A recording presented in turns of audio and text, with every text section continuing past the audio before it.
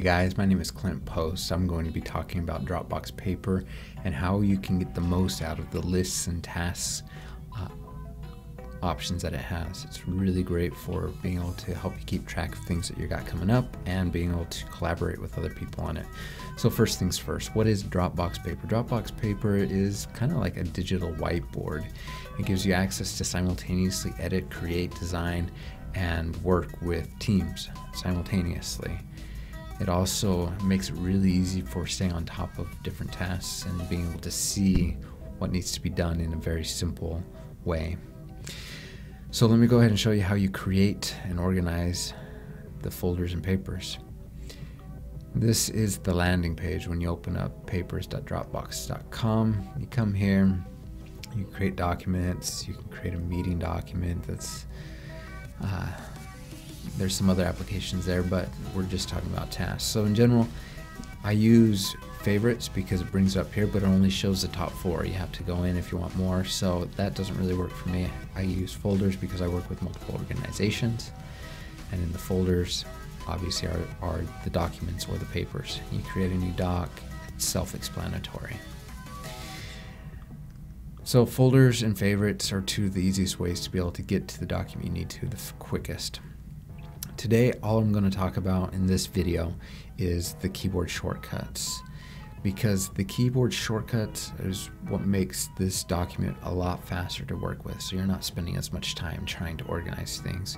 So to be able to create a checkbox you're going to use the open bracket, close bracket and then space. So open bracket is just to the right of the letter P, close bracket is just to the right of that key and you hit space and there's your checkbox moving items up and down. So I've created a thing and I'm going to be moving it up and down. I hold on the Mac command, control, and then arrows up and down and it moves around. Headers, this is a header one. So all you do is hold shift, three, space.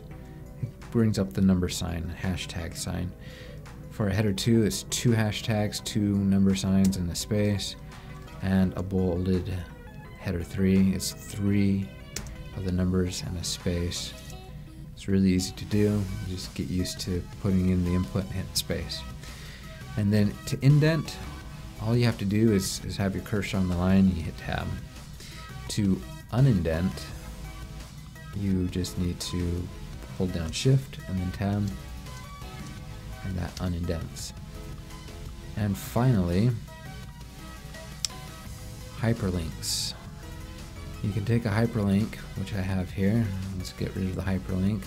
So I found a website or a page where I have a hyperlink to a Dropbox uh, folder or document. I can copy it, so Command C, and then I come over here to the text that I want to use as a hyperlink. I can either click this little icon here, or I can use a keyboard shortcut Command K, and then to paste, Command V, and hit enter and that's how you add a hyperlink. So those are the shortcuts. In the next video I'm going to be talking about the tips and tricks using these shortcuts and how to make things really fast and effective.